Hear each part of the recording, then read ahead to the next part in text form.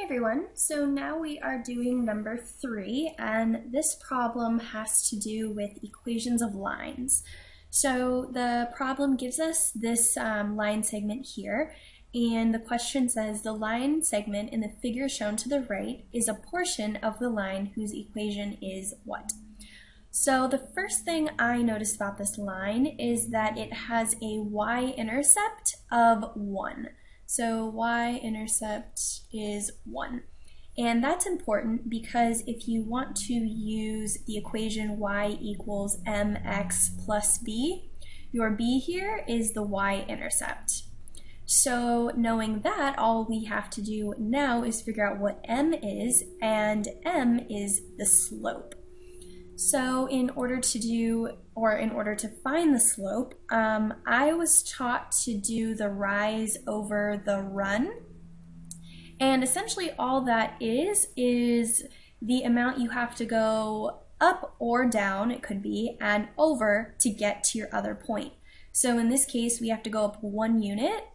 So the rise would be one. If you had to go down, it would be negative, but since you're going up in the positive y direction, it's a positive one and then we have to go over to the right one, two, three units. So your run is three units in the positive x direction. Again, if you had to go left in the negative x direction, it would be negative, but since we're going positive y, it's three.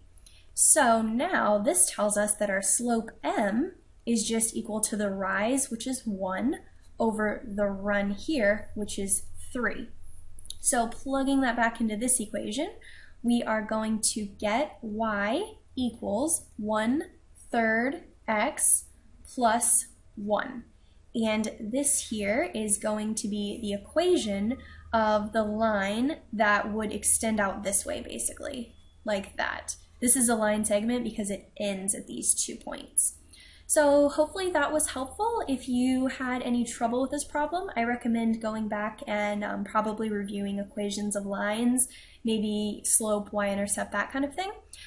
Um, so I appreciate you watching. If you like this video, please like it. Um, and I'm a math tutor. I tutor in person in the Los Angeles area and also over Skype.